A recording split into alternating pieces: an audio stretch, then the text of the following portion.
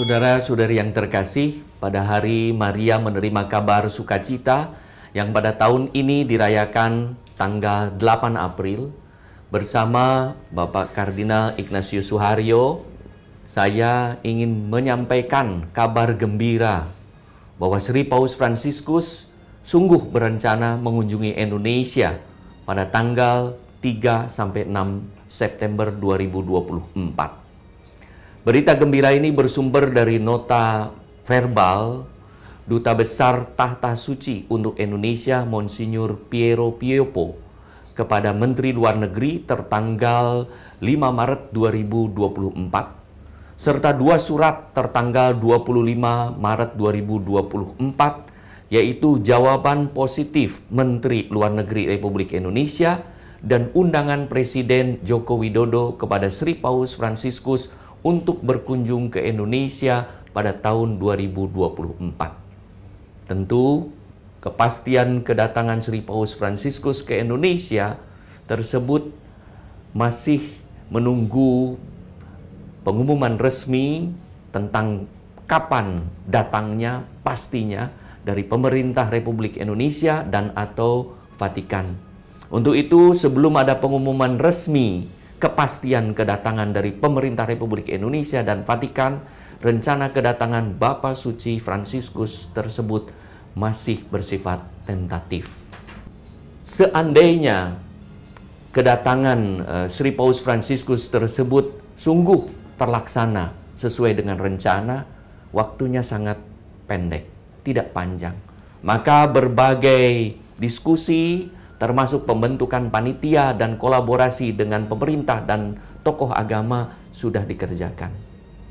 Mari kita berdoa semoga Bapak Suci Fransiskus dianugerahi kesehatan sehingga kerinduan beliau untuk mengunjungi Indonesia dan harapan besar kita untuk menerima menyambut kedatangan Sri Paus di Indonesia sungguh terlaksana sesuai dengan rencana saat ini demi perkembangan iman, persaudaraan, dan bela rasa.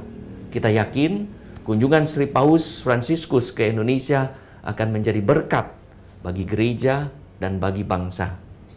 Mari kita mohon eh, Bapak Kardinal Ignatius Suaryo untuk menyampaikan pesan berkaitan dengan berita gembira ini sekaligus memberi berkat kepada kita semua. Terima kasih Bapak Monsinyur Anton, Ketua Konferensi Wali Gereja Indonesia. Seperti kita semua tahu, sebetulnya rencana kedatangan Paus Fransiskus itu sudah terjadi pada tahun 2020. Tetapi karena datangnya COVID, kunjungan itu ditunda. Sekarang seperti dikatakan oleh Bapak Uskup Anton, sudah ada surat-surat resmi termasuk undangan dari Bapak Presiden agar Paus Fransiskus datang ke Indonesia. Kita bersyukur. Yang kedua, sejauh kami dengar, kunjungan Paus Fransiskus ini tidak hanya untuk Indonesia, tetapi perjalanan panjang. Dari Indonesia akan ke Papua New Guinea, akan ke Timor Leste, akan ke Singapura, dan kemungkinan juga akan ke Vietnam. Rasa-rasanya belum pernah ada kunjungan yang meliputi lima negara yang jauhnya seperti kita ini. Kita doakan agar Paus Fransiskus dikaruniai kesehatan yang memadai untuk menjalankan misi itu. Yang ketiga, melihat perkembangan atau rencana perjalanan seperti itu, kita bisa membayangkan bahwa Paus Fransiskus tidak akan leluasa mempunyai waktu untuk kunjungan ke Indonesia. Oleh karena itu, kita bersyukur, tetapi kita juga mesti siap untuk menerima kenyataan bahwa Paus Fransiskus usianya sudah banyak, rencananya panjang, maka pasti umat Katolik di Indonesia ataupun saudara-saudara kita dalam konteks lintas agama yang bisa membayangkan macam-macam acara nanti kalau tidak kesampaian kita bisa memahami. Umat Katolik sendiri di seluruh Indonesia pasti ingin satu persatu berjabatan tangan dengan paus, tetapi kita semua tahu itu yang tidak mungkin. Yang keempat, kita boleh yakin juga bahwa kunjungan ini dalam arti tertentu sangat historis. Karena apa? Karena Paus Fransiskus adalah kepala negara Vatikan. Dan dalam sejarah bangsa kita, Vatikan adalah salah satu dari beberapa negara yang pertama-tama mengakui kemerdekaan Indonesia. Dan pada tahun 47, 1947, sudah ada perwakilan Vatikan di Indonesia ini. Kita merasa bahwa pimpinan gereja Katolik seluruh dunia sungguh-sungguh memberi perhatian kepada perjuangan kemerdekaan dan pengisian kemerdekaan Indonesia. Dan yang terakhir, memang kehadiran Paus Fransiskus secara fisik menjadi sangat penting dan sangat membahagiakan. Tetapi kita berharap bukan hanya kehadiran fisik yang kita perhatikan. Pesan-pesan beliau, pikiran-pikiran beliau yang beliau tulis untuk kemanusiaan mesti juga menjadi perhatian kita dan kita mempunyai niat untuk mempelajari pesan-pesan itu.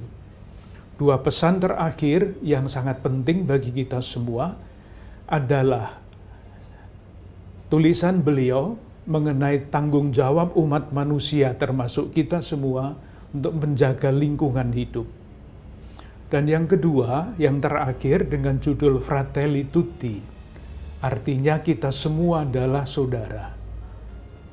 Suatu gagasan yang sangat cemerlang, bukan dalam arti hebat-hebat, tetapi menjadi sangat penting untuk sejarah umat manusia pada zaman kita ini. Mari kita sambut kedatangan Paus dalam rencana-rencana yang sudah diceritakan oleh Bapak Uskup Anton, dan sekali lagi, semoga kehadiran Paus Fransiskus secara fisik yang akan datang juga menantang kita, mengundang kita, mendorong kita untuk mempelajari ajaran-ajarannya dan mencoba mencari jalan-jalan untuk melaksanakannya. Semoga rencana yang bagus ini sungguh-sungguh menjadi berkat bagi kita semua dan kita jadikan pujian kemuliaan bagi Tuhan. Semoga Allah yang selalu menyertai perjalanan hidup kita, selalu menjaga, melindungi, dan melimpahkan berkat kepada kita semua, dalam nama Bapa dan Putera dan Roh Kudus. Amin. Sahabat peradaban kasih yang terkasih, sampai jumpa pada episode berikutnya. Terima kasih atas kebersamaan kita. Salam peradaban kasih ekologis berkah dalam.